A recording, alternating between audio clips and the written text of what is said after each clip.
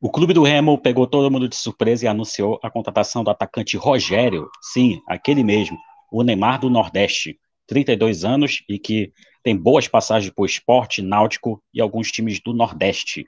Conhece ele? Fica aí depois da vinheta que a gente vai fazer uma análise aí do mais novo contratado do clube do Remo.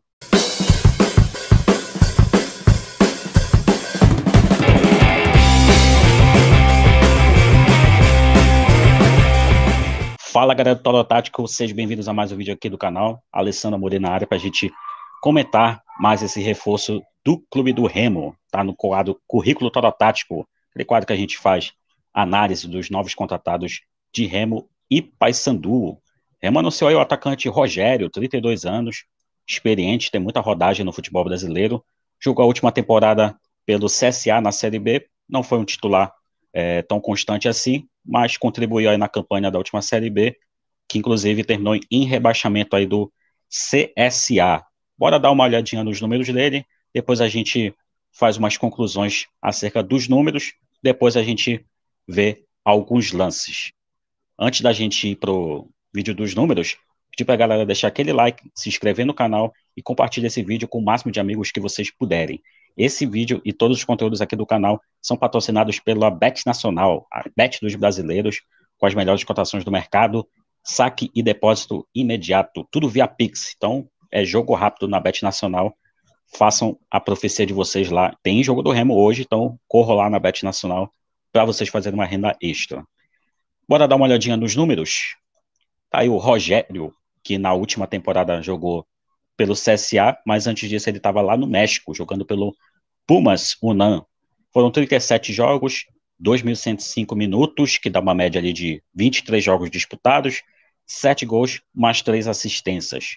É, essas participações em gol foram todas pelo Pumas, acabou não contribuindo em gol pelo CSA, muito por conta que ele não era um titular, mas era um reserva utilizado, e até essa média de minutos, né, foi muito por conta da, da passagem dele pelo CSA, né, e acabou não jogando tanto assim no time brasileiro.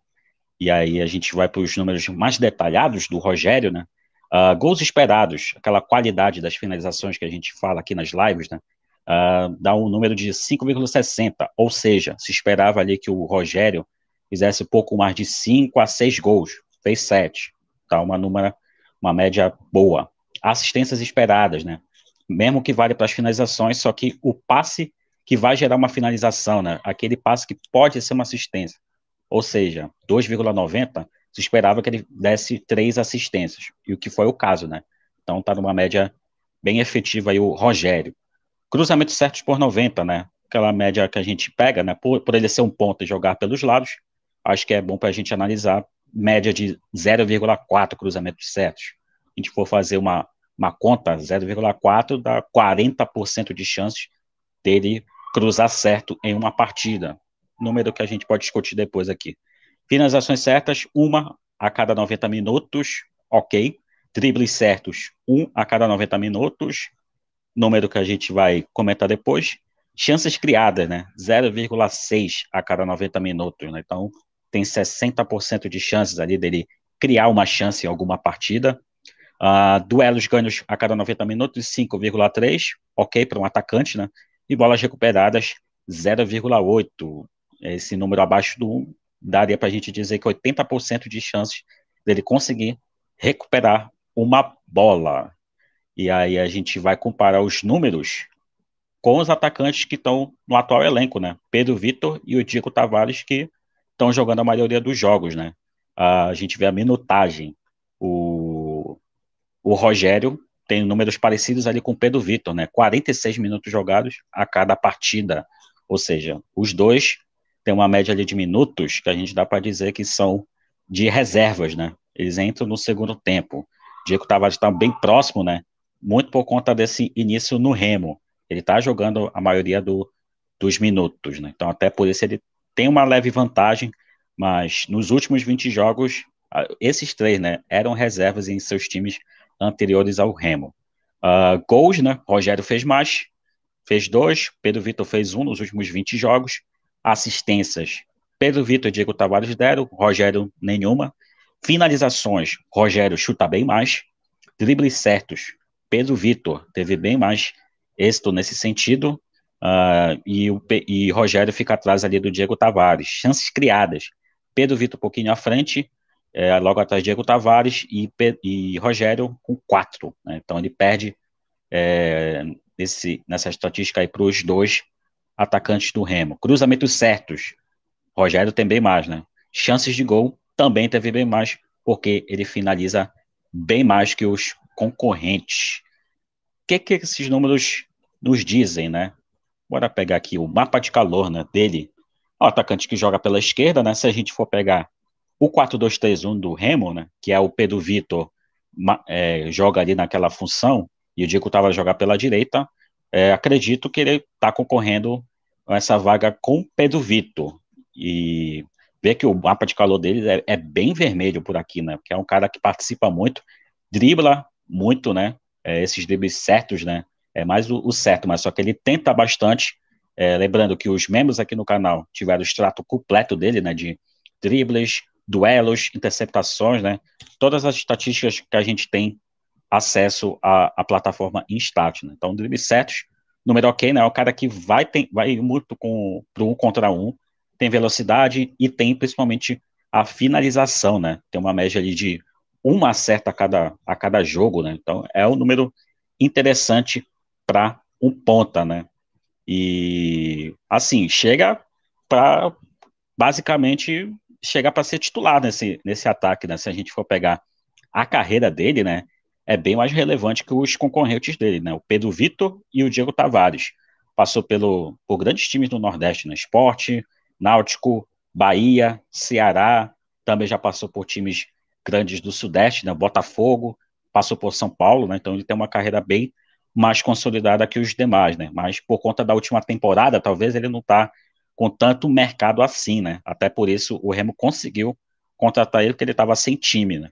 Ele começou essa temporada aí sem clube, estava sem jogar desde o dia 14 de outubro pelo CSA na última rodada da Série B, né? Então tá um tempinho sem jogar, perdeu esse período de pré-temporada dos clubes brasileiros, mas acredito que com o tempo ele pode assumir essa vaga de titular, né? Ainda tem o, um outro concorrente, né, que é o Jean Silva, que ainda não estreou na, na, na temporada, tá machucado, mas está em transição, pode ser até relacionado hoje no jogo contra o Cametá, e também é uma posição reforçada aí pelo clube do Remo, né?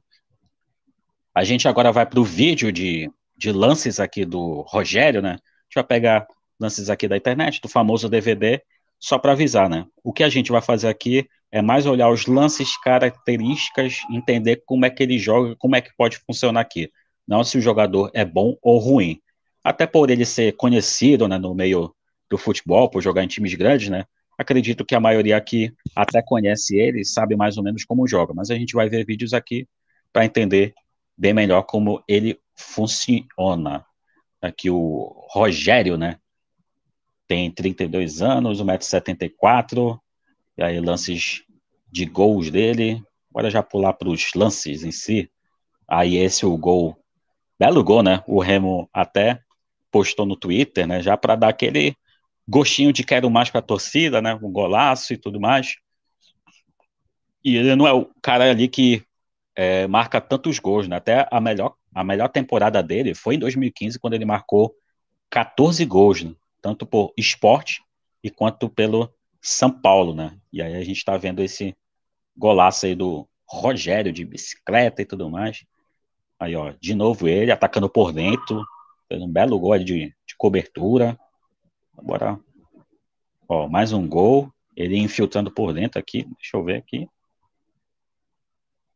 É, ele atacando por dentro, de repente pode até ser um atacante do, do 4-4-2 Losango, que a gente está vendo nesse início de temporada do Remo, de repente ele pode estar tá alinhado aí com o Muriqui. Olha ele aqui um pouquinho mais por dentro, puxando para o lado, já fazendo o cruzamento, né? A assistência aí para o jogador do Pumas. Olha ele de novo pelo lado direito também. Né? Então a gente está vendo nesse Pumas jogando um pouco pelo lado direito, né? Olha, de novo ele, pelo lado direito. Ó, tem drible, como a gente já viu nos números. Também finaliza bastante e com uma média interessante de finalizações certas. Quem é o Rogério? Ah, tá aqui. Ele que vai dar esse passe, né? Antes da antes da, do cara da assistência, né? Então, um cara que também ele se dá bem o jogo por dentro, né? Não é só um, um ponta. Vai ver que ele joga mais por dentro também. Abre opção para outros jogadores. Ó, aqui o Rogério vai tentar um jogo de um contra um. Viu que ele foi para dentro, criou espaço para outro e conseguiu. Também aparece na área para finalizar, que a gente está tá vendo nesse lance. Ó, essa é a jogada mais clássica dele, né? Abriu ali para o centro para chutar. É até uma coisa que é bem característica dele quando ele jogou aqui no Brasil, né? Esse jogo mais de cortar para dentro e chutar, né? Ele acaba tomando algumas decisões erradas, né? E a gente não vai ver isso aqui, obviamente, no, no DVD dele, né? Que ele vai pegar os melhores lances, mas essa característica dele, né? De talvez tomar decisões muito ruins e até por isso ele não conseguiu se firmar em clubes grandes do Brasil quando ele teve oportunidade, né? Tanto no Botafogo quanto no São Paulo. Aí o cruzamento dele, está vendo aqui pelo Pumas, né? Jogando bem, mas pelo lado pelo lado direito, né? A gente viu ainda agora no mapa de calor dele jogando pelo lado esquerdo, provavelmente pelo CSA deu esse calor mais mais vermelho por ali, né? Ele aparecendo muito por dentro para finalizar. Normalmente no Brasil ele jogava espetado pelo lado ali para ter essa jogada de, de, de pé trocado, né? Para cortar da esquerda para o centro para finalizar. Mas ele tá, está vendo vários lances em setores diferentes do campo. Ele dando passe. Olha aqui por dentro ele, né? E provavelmente ele jogou com com Daniel Alves por lá, né? Jogou aí provavelmente com o Rogério lá pelo Pumas. Aí também aparecendo na área para finalizar. Finalização de fora né? Pelos números que a gente já viu que os membros receberam, né? é um cara que realmente finaliza muito. Ó, é, e essa é a jogada mais clássica dele, né? Acho que a gente já viu o suficiente aqui dele, né? Bom, o que a gente está vendo aqui, né? A gente viu lances, a gente viu números. Uh, acho que foi uma contratação que faz sentido, não seria a primeira, assim, posição que eu olharia para o mercado, eu acho que seria a de lateral, que provavelmente o clube do Remo está atrás, né? Tanto que contratou o Lucas Marques, mas aconteceu, ele não passou nos exames médicos, o Remo queria um lateral para mais urgente, até para disputar esse último jogo da Copa do Brasil. É, vamos ver se o Remo está atrás de lateral realmente, mas o atacante, né, que a gente está vendo é, basicamente jogar Pedro Vitor, Diego Tavares, Jean Silva machucado. Acho que o Remo quer um atacante mais experimentado, né? a não ser o Ronald. O Ronald tá voltando de lesão agora, é um cara da base. Talvez o Marcelo Cabo quer preservar ele um pouquinho mais para quando ele estiver mais pronto, né? Não, não, ter toda aquela pressão que a gente está é, tá acostumado a ver nos jogadores de base por aqui, né? Então ele quer um jogador mais experimentado. Provavelmente vai jogar nesse lado esquerdo que a gente viu no mapa de calor, mas a gente viu nos lances que ele pode também jogar por dentro, pode jogar aberto pela direita, né? Então ele pode fazer as três do 4-2-3-1 uma contratação que faz sentido, né? Acho que precisava ali de reforços ali pelas pontas, já que o Pedro Vitor tá aparecendo bem, mas ainda tem uns problemas ali de, também de tomada de decisão. Diego Tavares não está rendendo, pode ser uma opção ali pelo lado direito, como a gente viu nos lances, e também pode jogar mais centralizado, de repente não está funcionando ali um dos meias, ele também pode ser mais essa opção centralizada. Faz sentido, vamos ver como é que ele vai chegar também a parte física, é um ponto para a gente olhar, né? Ele não fez pré-temporada em clube nenhum, né? Não era aquele jogador que, por exemplo, era o Lucas Marques, estava tava treinando com o Guarani, tá, é, ritmo de treino e tudo mais, né? Não é o caso do Rogério, né? Tava parado, tava sem clube, Remo contratou ele é, sem custos e bora ver como é que ele chega essa parte física, né? Que o Remo tá precisando aí de gente para chegar jogando, principalmente nas laterais, mas o Remo acha uma oportunidade de mercado aí com o Rogério. Quero saber de vocês. O que, é que vocês acharam da contratação? Gostaram? Conhece aí o, o Rogério? Já viram jogar em outros clubes, por Esporte, Náutico, Ceará, Bahia, Botafogo, São Paulo? Deixa aí nos comentários e até a próxima.